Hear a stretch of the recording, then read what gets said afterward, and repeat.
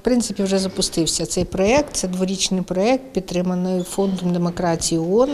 Е, Називається Політичне українське лобі жінок. В цьому проєкті беруть 12 областей України, які розподілені на кластери по три області. Я є керівником одного з кластерів, який включає в себе Хмельницьку, Тернопільську, Чернівецьку область.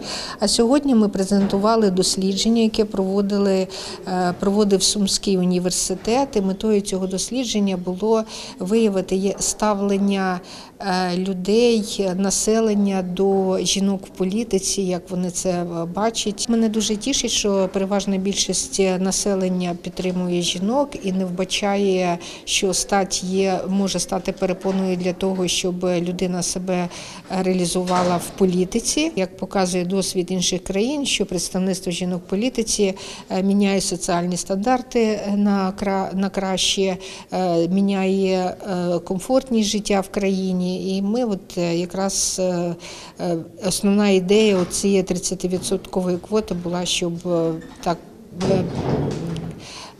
Підштовхнути саме жінок, щоб вони брали участь в політичних процесах.